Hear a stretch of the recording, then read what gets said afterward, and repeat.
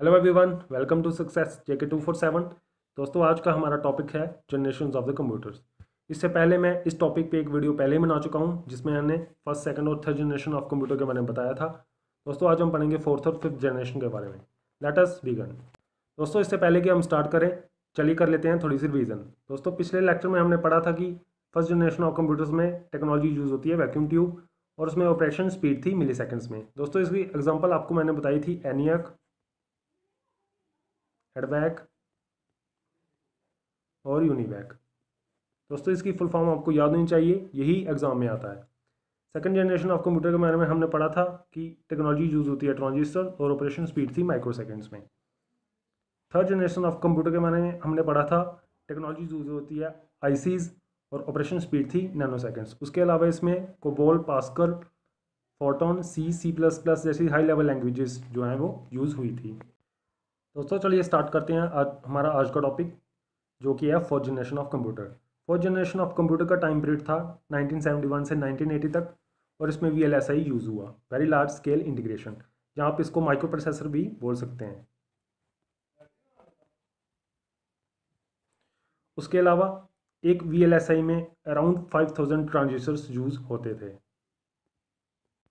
दोस्तों fourth generation computer first, second, third generation of computer से बहुत ही ज़्यादा पावरफुल थे कॉम्पैक्ट थे रिलायबल थे और अफोर्डेबल थे, जिससे कि एक टर्म बाहर निकल के आई पर्सनल कंप्यूटर पर्सनल कंप्यूटर क्या होता है? पर्सनल कंप्यूटर होता है जो इंडिविजुअल अपने खुद के यूज़ के लिए यूज़ करता है।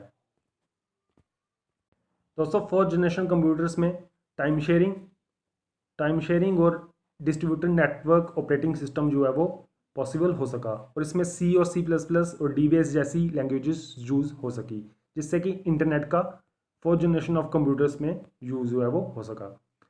तो देखते हैं main features of the fourth generation computer S I technology use बहुत ही चीप थे पोर्टेबल एंड रिलायबल थे।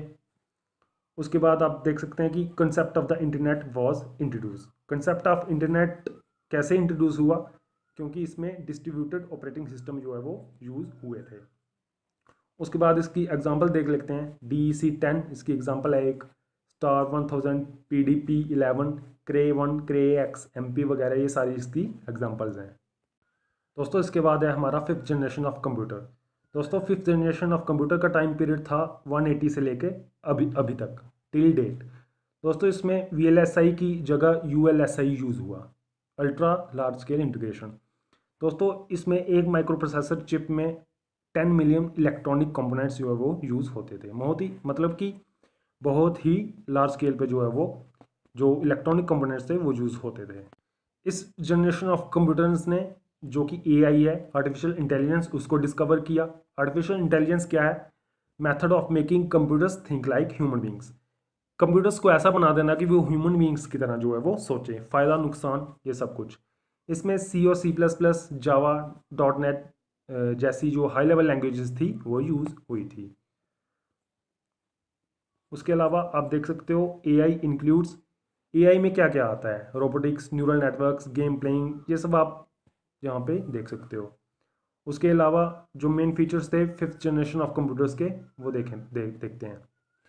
U L S I technology use हुई, उसके बाद development of true artificial intelligence A I का यूज़ हुआ development in natural language processing N L P N L P क्या होती है?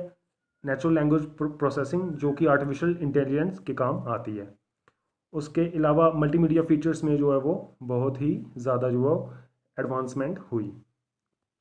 उसके बाद some computers type of this generation are आप देख सकते हो डेस्कटॉप हो गया लैपटॉप हो गया नोटबुक अल्ट्राबुक क्रोमबुक ये सारी एग्जांपल्स हैं जो फिफ्थ जनरेशन ऑफ़ कंप्यूटर्स की। दोस्तों, यहीं पे ख़त्म करते हैं हमारा आज का लेक्चर अगले लेक्चर में हम पढ़ेंगे types of the computers thank you